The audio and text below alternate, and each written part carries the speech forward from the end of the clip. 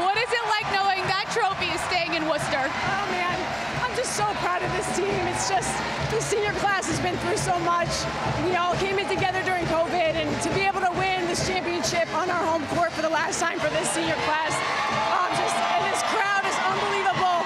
I'm just so, so proud of everybody You mentioned that senior class, a member of that senior class, it's Bronagh Power Cassidy. What has she meant to Holy Cross? Uh, Bronagh is every coaching a player like Bronagh, just but who she is as a person.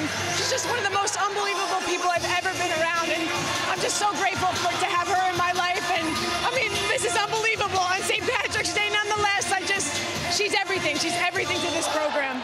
Coach, thank you so much. Go celebrate. Thank you, Maria.